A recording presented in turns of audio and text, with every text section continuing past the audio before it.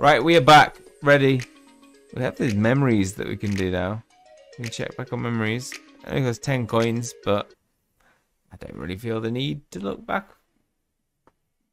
I don't know. Right. Let's do this. Where are we off? We're off to the training grounds, I believe. Let's quit pitch. To the training grounds. See Madam Hooch, who is gonna tell us off, probably. Gonna face the consequences. Do you think we'll get detention? I've never had detention before. I don't care whether we're in trouble. They had it coming. Hooch is overacting. Not a real fight unless it ends with a broken nose. I've not seen such behaviour on the Quidditch pitch since the infamous brawl of 1972. And after the row following your friendly, it's clear that all of you need a lesson in consequences. Both of your teams will be suspended from the Quidditch Cup, effective immediately. What? You can't ban us from playing Quidditch. I think you'll find I can, Miss Parkin. You may compete in house matches once you prove your dedication to sportsmanship and cooperation. How do we do that, Madam Hooch? Until further notice, all 14 of you will participate in detention together. That doesn't leave much time for Quidditch practice.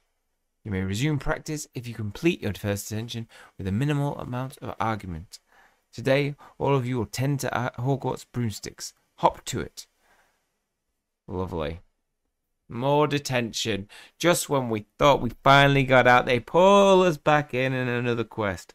The sooner we stop arguing, the sooner we can play Quidditch. Arguing won't get us anywhere. Wish our teams could see that. Right, what? We've got to work together. Well, Madam Hooch won't let us play Quidditch.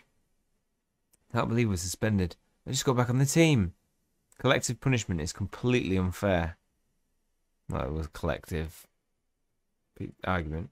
I'd rather snog the giant seeker giant squid than this.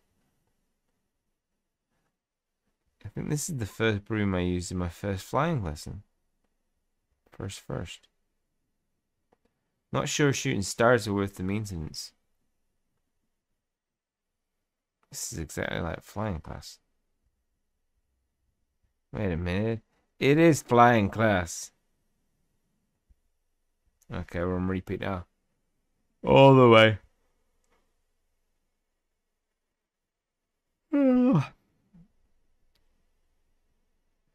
let's finish this off. Da -da -da. Jeez, it's a long three hours. Done. Finished. Success. We've repaired all the broomsticks, Madam Hooch. Well done. It seems the 14 of you can work together. Have we proved ourselves proved to you we're dedicated to sportsmanship and cooperation? It's a start. You will have more opportunity to demonstrate the true spirit of Quidditch.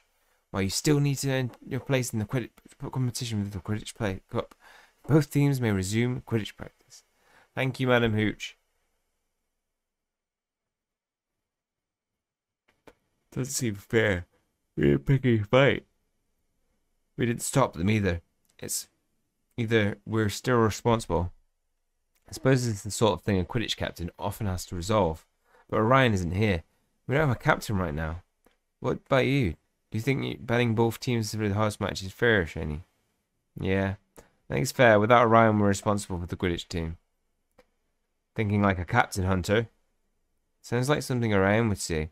Team unity and so on. Which probably means you're right. What do we do about it? Well, we'll have to prove our teams can work together before we're allowed to play proper Quidditch practices matches. I'll talk to my team. Doubt they'll feel cooperative at the moment. Shani and I will talk to the Gryffindor team. They used to use use a bit of cheering up. Could use.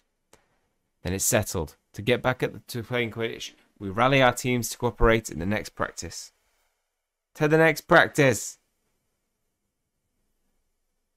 Next time. Oh no, we've still got a little bit of practice, but that will be the end once we've done that. Okay, well that's all for this one. Hopefully you guys enjoyed it. If you did, please leave a like on the video. Always helps the channel out. Hit subscribe if you want to keep up to date with future content. That is all from me.